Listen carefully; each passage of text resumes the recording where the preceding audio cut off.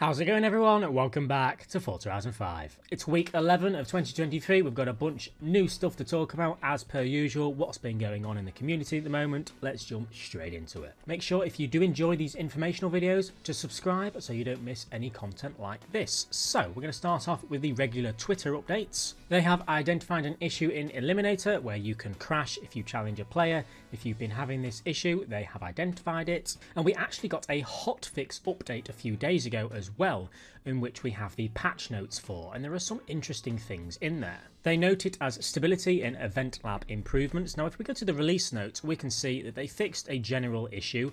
They seem to fix the issue that I had previously mentioned, and they have also reduced the cost of some event lab props after budget miscalculation fix. And then they put out a note explaining how in the last update for Horizon 5, they actually miscalculated some of the event lab prop budgets. This meant that some people's Event Lab creations, which were previously in budget, were then no longer in budget and sort of caused quite a lot of issues for some people. Now they have listened to the feedback and they have done what they can to revert it as much as possible. And now they've not been able to bring it back down to what it used to be, but they have done their best to give us the most budget possible to try and avoid this happening again. As you can see the details if you want to read through all of it there. I can imagine that was very annoying for anybody currently working on an event lab creation that was in budget and then suddenly wasn't. So yeah.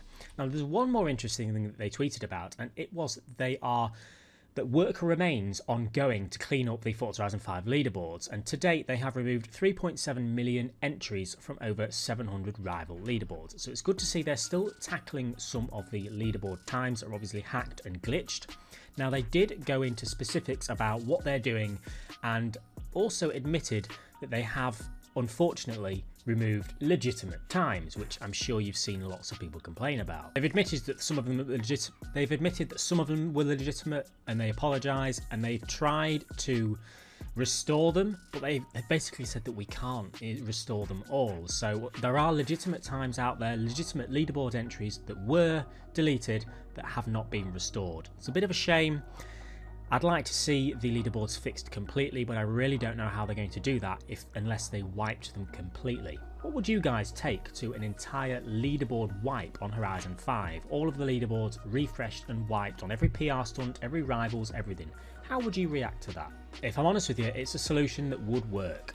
Anyway, that's everything on Twitter. We're going to talk about some new leaks lately. Now, I use the word leaks lightly, but as per usual over on GT Planet, where most of the leaks seem to come from, we've had quite a few. We've had this one from TGR55, and they have EE looked through the files since the Japanese automotive update. They added new badges in the files which he couldn't find in the badges section menu and just a bunch of other logos and stuff like that as well. Now he says that these specific ones, he's not really sure why they have the initials TT in front of them.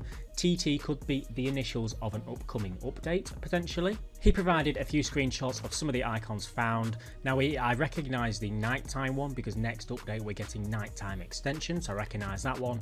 But it's really interesting to see all of these designs which have been done by the Forza Horizon 5 developers, some of which I don't recognise from the game and some of which I do. So if there are any badges, any of the festival playlist coming soon icons on screen that you don't recognise and that are new, I can't really pinpoint all of them, but some of them do look new to me. They could very well be a hint at a new upcoming feature or just new badges being added to the game at some point.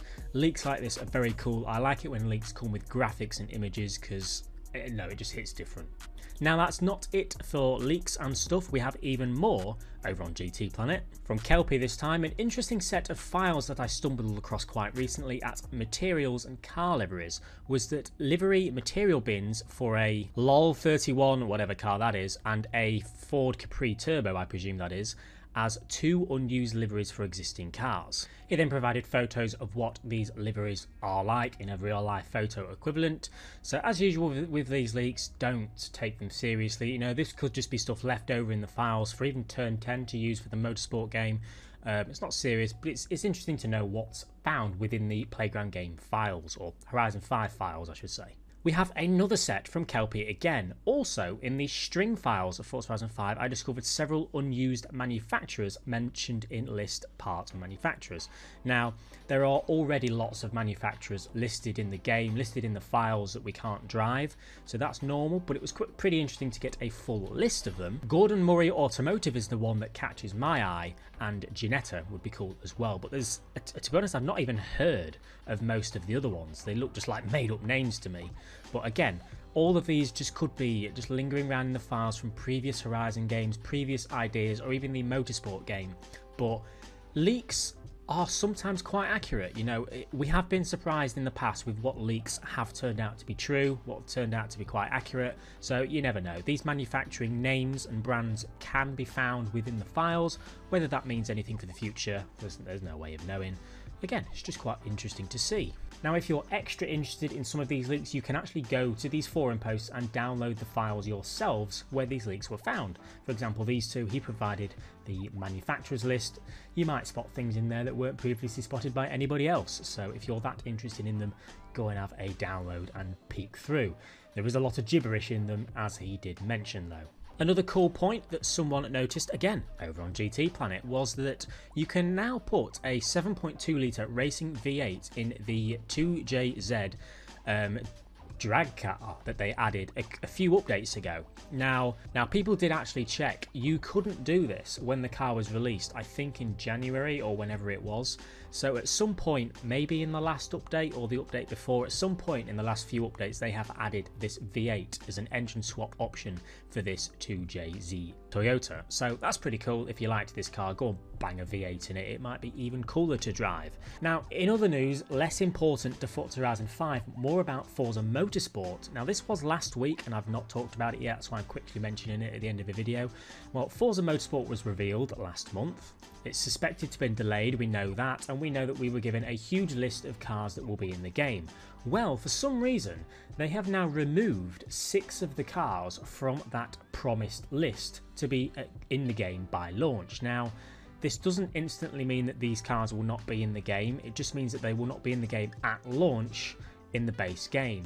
Perhaps as a DLC, perhaps as a monthly update, I don't really know. They all seem to be very race specific spec cars with liveries, so maybe there's licensing issues going on because licenses are a huge factor for what goes on in the game.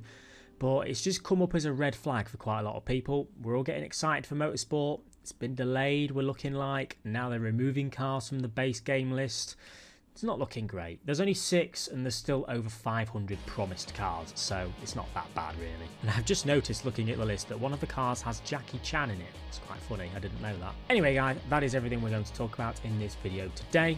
Leave a like if you've enjoyed, and I'll see you all later.